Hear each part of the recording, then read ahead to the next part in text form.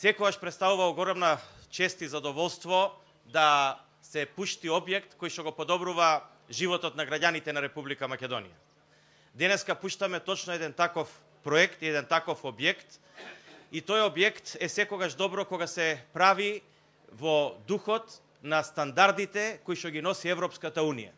А Европската Унија со себе не носи само назив дека е Македонија, дека сака да биде дел од Европската Унија, него ги носи и стандардите за квалитетот на животот на граѓаните. Ги носи стандардите во индустријата, ги носи стандардите во секојдневниот живот.